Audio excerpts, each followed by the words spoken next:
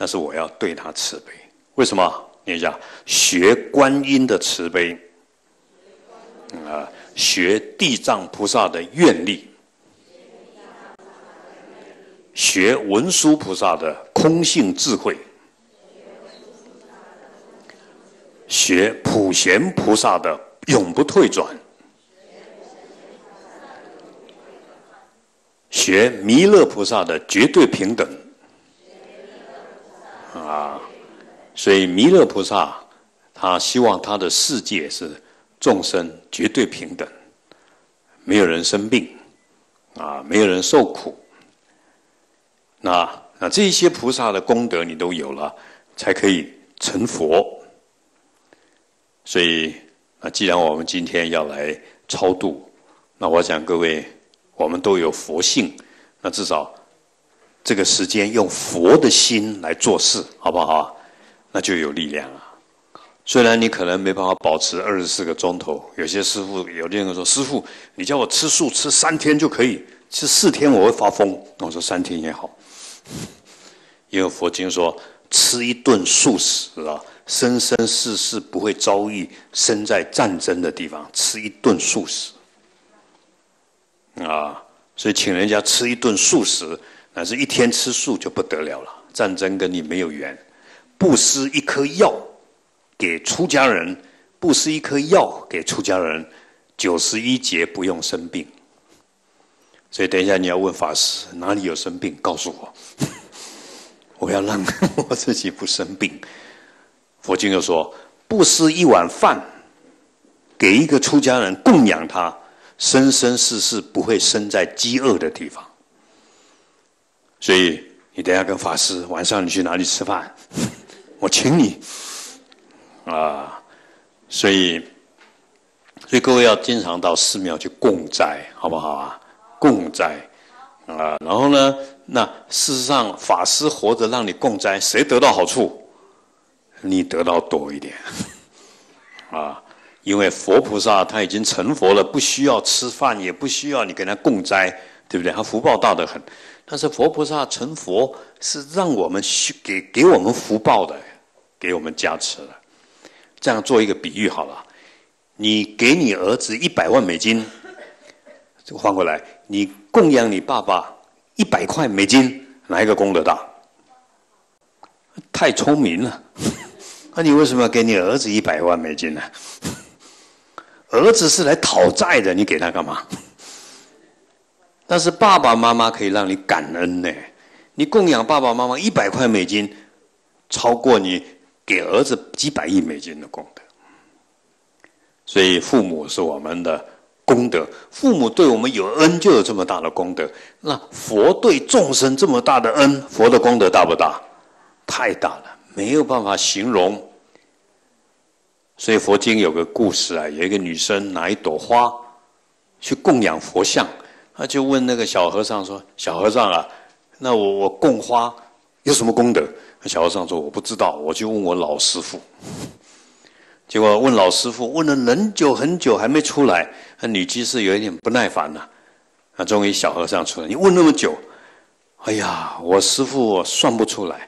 然后我师傅呢，就用神通去弥勒菩萨那边，弥勒菩萨到现在还在算，还没算出来呢。啊，因为供佛的功德，所以我想我们今天超度。”并不是单纯把这个食物布施给恶鬼道，首先要做的是替他们做供养，好不好？但是你不能自私哦，你不能说：“哎呦，法师，你讲功德那么大，太好了，我要来修修功德，我要发财。”那如果你有这个自私的心，功德就小一点了。那不要好了，我为我儿子供养，希望他发财，那你也是自私啊！你可以用你儿子的名义。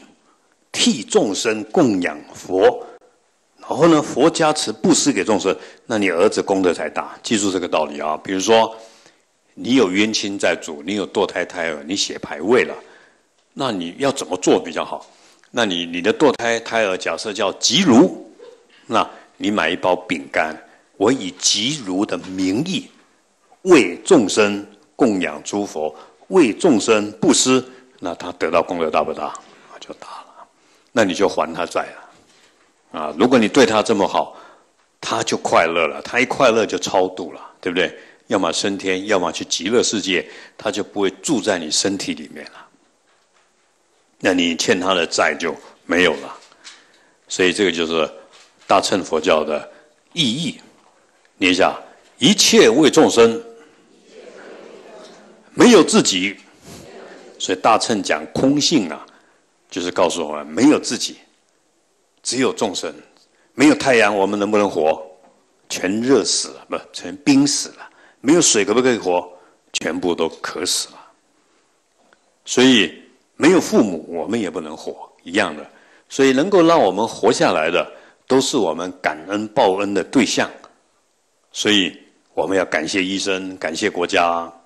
啊，像各位身上穿的，可能鞋子是我们中国来的，呃，戴的眼镜是德国的，穿的衣服是法国的，化妆品更是法国的。啊，吃的食物像香港的，因为我们身上这个活着来自四面八方。就像我出家的时候，我师父跟我说，不能带一毛钱来。我说师父，那没钱怎么出家？你没钱出家，你才知道感谢众生。那我说怎么来？他说穿个内裤来。就真的，我就，然后呢，然后就我就来出家了。然后我就出家。然后他们叫我去做衣服，结果衣服做一做，哇！那老板多少钱啊？没钱哎！我以为出家衣服很便宜啊，啊！那我就不敢拿。我师傅说，我没有叫你去做衣服，你回到寺庙那边很多死掉的出家人衣服，你拿来穿就不错了。你穿他们死掉的衣服呢，你不会还俗，有加持啊！我是这样长大的，所以我从一个做事业有钱的人。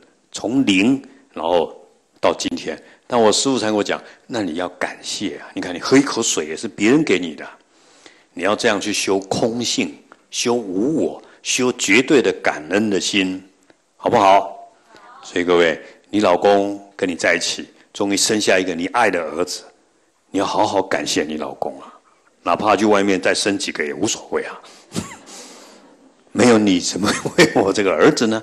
你要想这个就好了。啊，你要想啊，你怎么对不起我？那你痛苦的要死。所以我想坐过飞机，要感谢所有飞机上的人，不然你一个人包飞机啊，你坐得起吗？是大家一起，然后感谢开飞机的，感谢空服员，感谢坐在隔壁的。所以我每次坐飞机，我都不睡觉了，超度大法会，为活的人消灾，为他们身上吃的肉啊。冤亲债主超度，这样我就没有坐白坐一趟飞机，啊，这样就不会浪费时间了。所以更感谢空服员，更感谢一切一切。所以我们现在睡在酒店，感谢他们帮我们铺床铺啊，给我们水啊，对不对？哦，给我们空气啊，信徒给我们出钱啊，这个观念很重要。念一下，随时感恩，好不好？当你不感谢对方的时候，你就在骂对方了。记住我这句话哦，啊，人一生气呢，这个恩就忘记了，啊，所以喝人一口水要知恩图报，要永永远远的记住这个道理，而不能因为后面他对你不好而把它切断了。这个叫修行，所以我们今天要来报恩这些。牌位都是我们的爸爸妈妈，啊，都是我们的爸爸妈妈，所以，但是佛的功德圆满，慈悲圆满，但是佛的功德慈悲圆满，没有透过我们用心来念佛诵经，那众生就得不到。所以我常讲一句话：我们佛教徒活着有什么意义？来，一切诸佛的功德跟受苦的众生。我们是连接点，啊！当你嘴巴念阿弥陀佛，把阿弥陀佛的力量给他了。当你用一杯水供佛，那这杯水化为极乐世界功德水，让他们洗到就超度了。一块小小的饼干，我们拿来供养诸佛，佛加持这个饼干变成甘露，让这些众生念一下：吃即解脱，闻即解脱，呃，他闻到了，他就解脱了。所以各位今天晚上回家睡觉，我明天用神通把你变到非洲的乡下，什么什么人都没有，房子没有，你开始度众生吧，这样就好了。啊，你就开始一个人在非洲度众生，这个叫菩萨。菩萨如果不如此，他就不会成佛。从零开始，甚至非洲人要杀你。所以，就像玄奘法师要到印度取经翻译给我们，中间好几个阶段要被杀掉。玄奘法师是孤独的，法显法师是孤独的，意境法师是孤独的，这些。去替我们取佛陀的经典翻译给我们的这些法师，死的更多，活的没几个，所以我们才有一部经典可以看。所以各位，你你你现念一部心经，你都要非常感恩啊！所以要很认真的去读这个心经。那我们现在先替六道众生做供养，好不好？所以我再讲一次哦，一千亿美金。拿去世界做布施，还不如在佛前供一杯水的功德。为什么？佛是最圆满的功德。就像刚刚讲，你给你儿子一千亿美金，还不如供养你爸爸一块美金的功德。啊，那何况是佛呢？啊，佛是众生的父母一样。没有佛，那我们是二世生生世世都在六道轮回。我先问各位，美国人可不可怜？美国人可不可怜？可怜！你不懂佛法，不叫可怜吗？白来一趟了。现在给你做最有钱的人、最有权力的人。如果你没有皈依三宝，这个人可不可怜？可怜。那各位自己快不快乐？好在我有皈依三宝。老公虽然不在了，好在我有皈依三宝。儿子虽然不孝顺。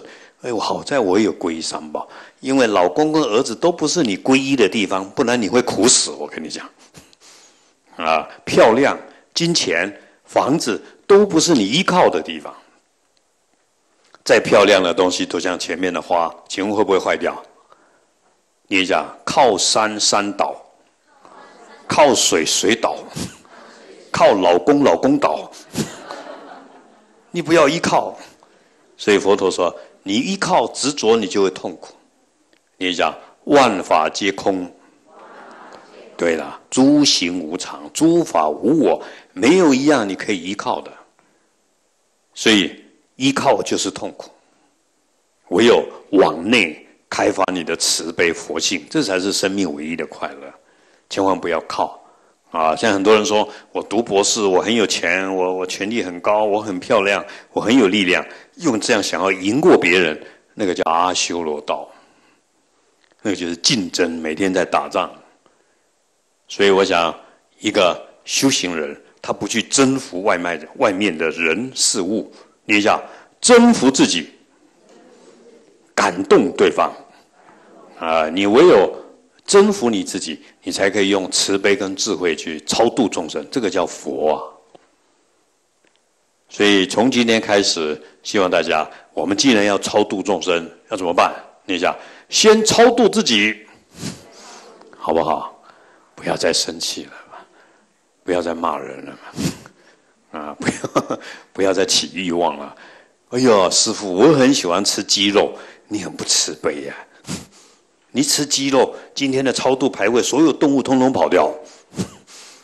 所以我们为什么超度人不能吃肉？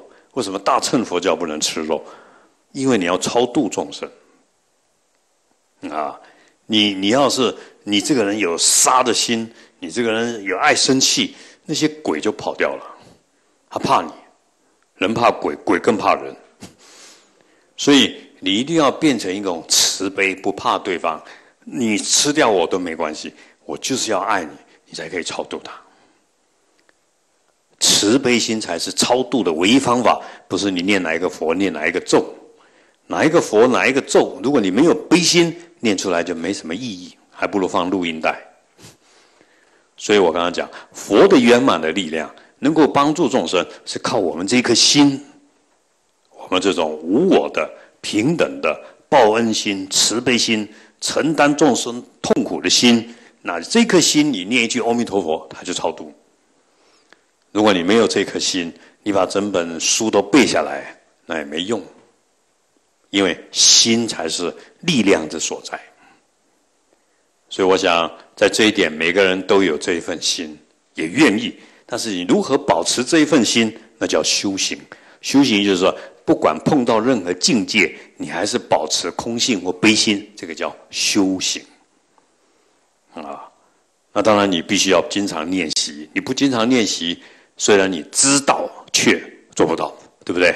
所以我现在问各位：各位不生气好不好？太简单。问题是今天晚上你回去就生气了，哈哈哈还不简单？呃，做不到，做不到。哇，这是你有一百个理由我要生气 啊！所以那修行知道跟做到那是天差到地啊。那为了要做到，那各位要故意去磨练自己那种痛苦的世界，你要去磨练。啊，就像我要出家，我的师父知道我放不下我儿子，啊，虽然我可以放下我太太，但我放不下我儿子，所以，所以我的师父就是叫我打坐。他说：“你要好好想，你儿子怎么死的？被打死的，被火烧死的，被他的继父啊伤害死的。你要一直想，想到很痛苦，哭，然后想到不会哭，那叫放下。”不然他跟我说：“你出家，你还在想儿子有用吗？啊，你出家还在烦恼你漂亮的太太、有钱的太太 跟别人跑了，你更气死啊！因为我出家的时候，我我我太太全他们都不让我出家，结果我就找一个出名的律师，等等我决定要出家，啊，律师就就骂我：你要干嘛？我我要跟他离婚，你为什么要跟他离婚？啊，你太太这么漂亮，然后条件呢？”我就开始写所有财产、动产、不动产，呃，小孩子监护权都给太太。他说：“嗯，这样可以。”哇，你你全部给他了。后来他问我为什么要出家，他连律师费都不敢跟我收了。啊，他问我为什么要出家，我把出家的道理告诉他。啊，我不是不爱我太太，我爱她这辈子，我更爱她未来世。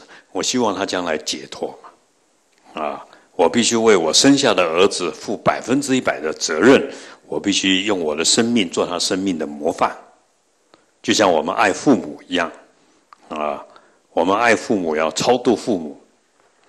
那出家是为了报父母恩，出家是为了报众生的恩，而不是享受一种自私的快乐。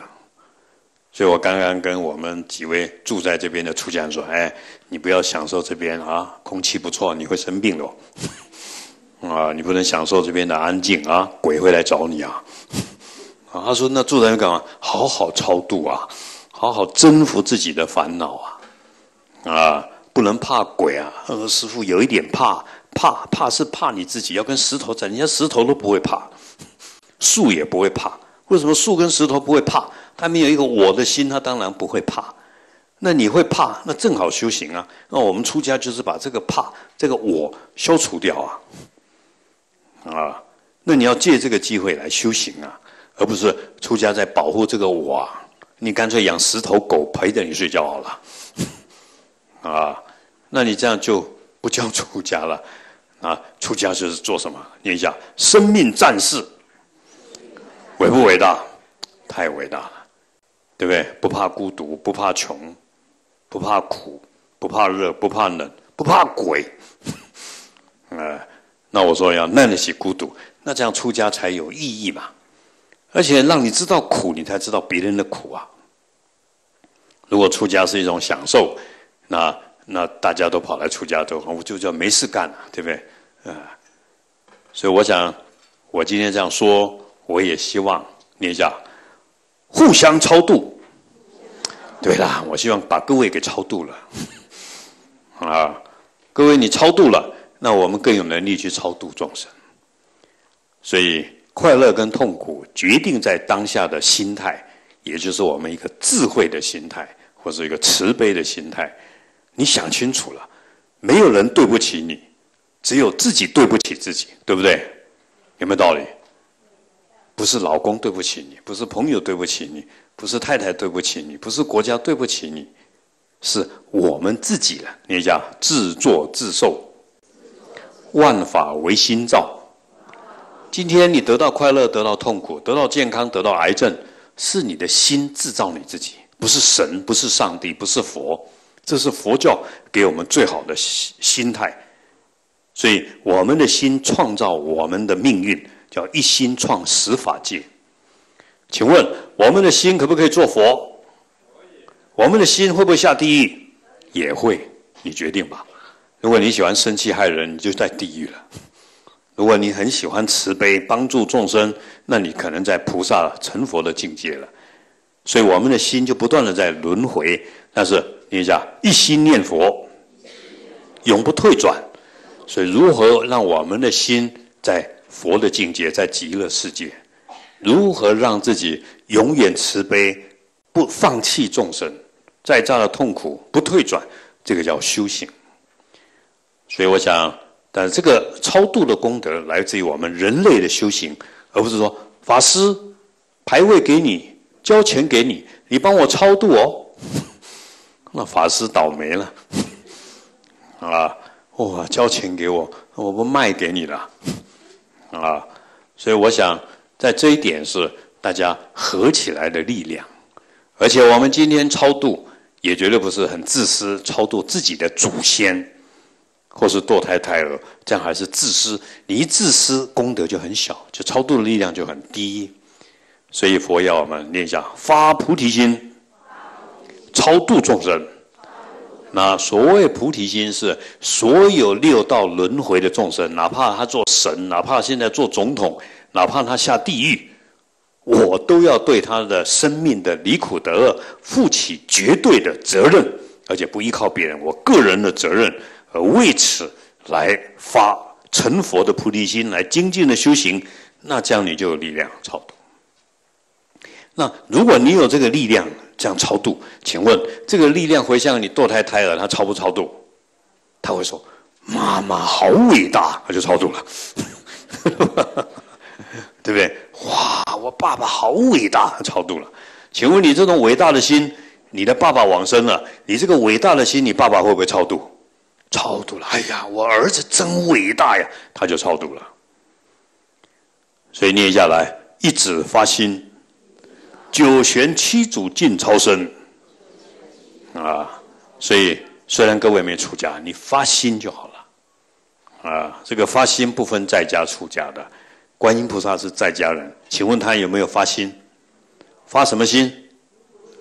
慈悲心、菩提心，这叫发心。什么叫发心？把小小的自私的心变成广大无量无边的悲心，简不简单？简单要不要而已，哪不简单？这个世界，请问从这边到呃南北极远，还是离你的心远？地球大还是你的心大？心大，心可以观想一万个地球，了解吗？是你要不要？只是各位现在把心弄太小。儿子，儿子，儿子，你在哪里？老婆，老婆，你在哪里？你故意把你的心就把你弄得小小的，绑住那个地方，然后你越爱对方，越对方越讨厌你。为什么？这个受力点小，压力大。啊，你要是变成平等的爱，双方都没压力。所以你这么强的这种感情力量，仔细关心一个人，早也打电话给他，晚也打电话给他，睡觉要打电话给他，哦，不是，然后他睡着还拉起来，老公，你爱我吗？啊，所以因为你给他太大的压力，所以各位，众生皆有佛性，念一下心佛众生，三无差别，这是佛讲的。佛成佛的心跟我们凡夫的心一样的，心佛众生相无差别，只是我们把心用错地方了。我们把心用在往外求，我要感情，我要成功，我要金钱，我要升天，那你的心用错地方了。啊，我们要把心拉回来，你是苦海无边，你是苦海无边。回头是岸，哎，你往外去求叫苦海无边。老公对我好一点，啊，老板加点薪水吧，啊，儿子你孝顺我一点，那你苦不苦？太苦了，啊！但是你照顾你的心就好了，不要把你的心心肝掏出来交给别人，然后再怪别人把你心脏丢在地上，啊，是你自己找苦吃吧。如果你要把心肝掏出来，那可以。放在地狱里面，放在恶鬼道里面，那你不对他无所求嘛？你只是希望他离苦而已啊？那你你心里很平静啊？所以念一下：慈悲无障碍，慈悲无烦恼，自私最痛苦。所以你会痛苦，是你自私。如果你慈悲，你就没痛苦。所以我再问各位：出家快乐还是在家快乐？那我再问你，那你为什么不出家？是你不想快乐，放不下，也是借口。你现在去找心性法师，马上理掉，不用福报。福报是自己要不要有福报？当你升起一个悲心，就有福报了；当你放得下，就有福报了。你要放不下，你有一千个理由放不下，还没有，我儿子还没长大，还没结婚，还没生孙子，啊，不会吧？找我好了。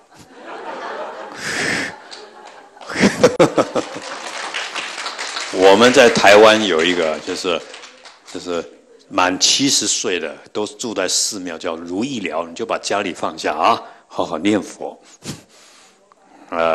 好好念佛，然后呢，每天念四支香的佛，吃饭自己出钱，因为你们有钱嘛。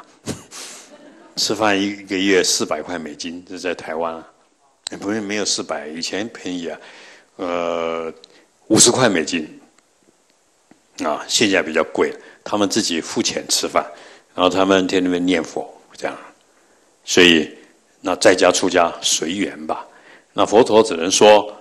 你会照顾你身体的话，你就可以出家，这样啊。如果你已经没办法照顾你身体，那你就不方便出家。但是心可以出家就好了，对不对？虽然你生病了、老了，每天阿弥陀佛、阿弥陀佛，那就出家了。啊，你讲心在极乐，对对，你不要把心放在家里，你要把心放在极乐世界。你念佛帮助众生离苦，心快不快乐？快乐，你不要儿子孙子儿子孙子儿子孙子，那没办法。有些出家的还在儿子孙子，啊，所以前两天我儿子结婚了，所以我不在台湾。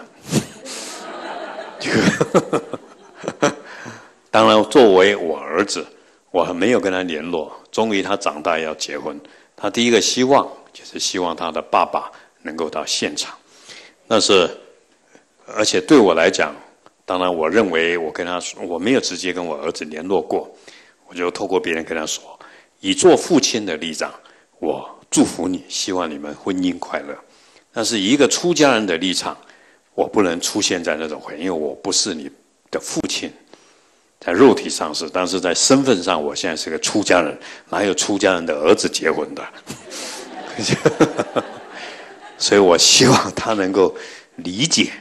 啊，当然，我过去的太太更希望我回去，对不对？她到现在还没有放下我，这是正常的，因为我不是被讨厌的那种人，啊，所以，但是我只能说，那就是希望他转化。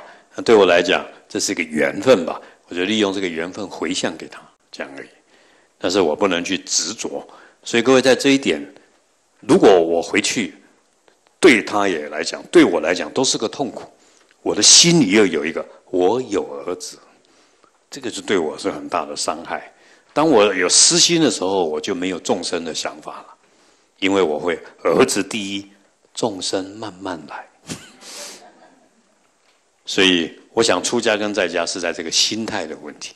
就算你不能出家，但是你说世界第一，众生第一啊，其他随缘那还好。但是如果你的儿子的跟女儿事情让你很心痛，让你放不下，那就是你要修行的时间来了。啊，为什么？你要想想哪一天。